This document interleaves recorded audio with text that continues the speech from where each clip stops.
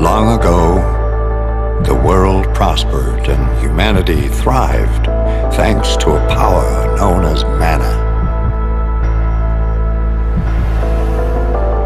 However, humans soon sought to use mana to create the ultimate weapon, a floating battleship called the Mana Fortress.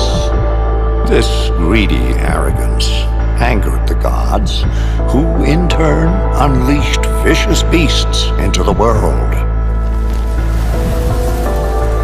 A violent war between the mana beasts and the fortress engulfed the world in poison and fire until mana had all but disappeared.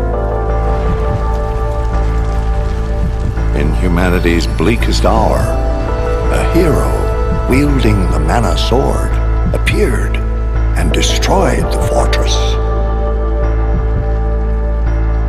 World was left in shambles, and yet humanity persevered, and there was peace throughout the land.